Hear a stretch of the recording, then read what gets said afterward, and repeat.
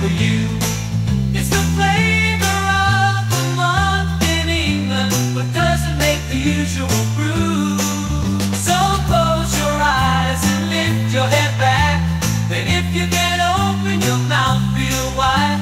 But girl, whatever you do, don't fight down while my tea bag is dipping inside. The British policeman has always been the trusted guardian of law and order. This trust has been rooted in the feeling that a constable, that a constable, that a constable, that a constable, that a constable, that a constable belongs to his neighborhood, and that he is the friend of everyone who lives there. They know him and help him, just as he helps them. Trusting him as they do, they talk freely to him, so that he gets a lot of valuable information, valuable for preventing crime. Hello, Mrs. White. More trouble with the lads playing football? No, they haven't been back, I'm glad to say. We're very grateful to you for seeing to that. No, I'm afraid we've got trouble of a different kind. Oh, what's that? Well, it doesn't sound very much, but I think it's something you ought to know about.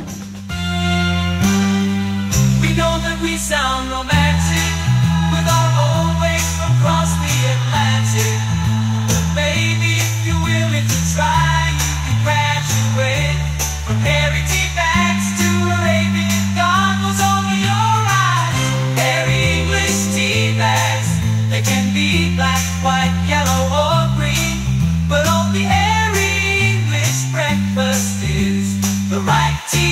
for my queen.